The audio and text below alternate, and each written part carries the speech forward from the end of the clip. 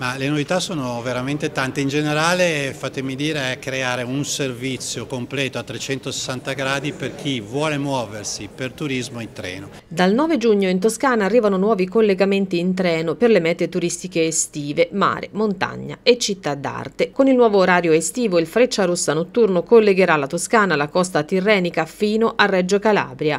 La novità dell'estate sarà il collegamento intermodale Argentario Link che consentirà di viaggiare in treno treno fino a Orbetello, Monte Argentario e poi proseguire in bus fino a Porto Santo Stefano. Inoltre, fino al primo settembre sarà possibile raggiungere le Cinque Terre direttamente da Arezzo e dal Valdarno con una coppia di treni attiva nei giorni festivi tra Arezzo e Sestri Levante. Treni completamente dedicati, tailor made potremmo dire, sulle esigenze del turista.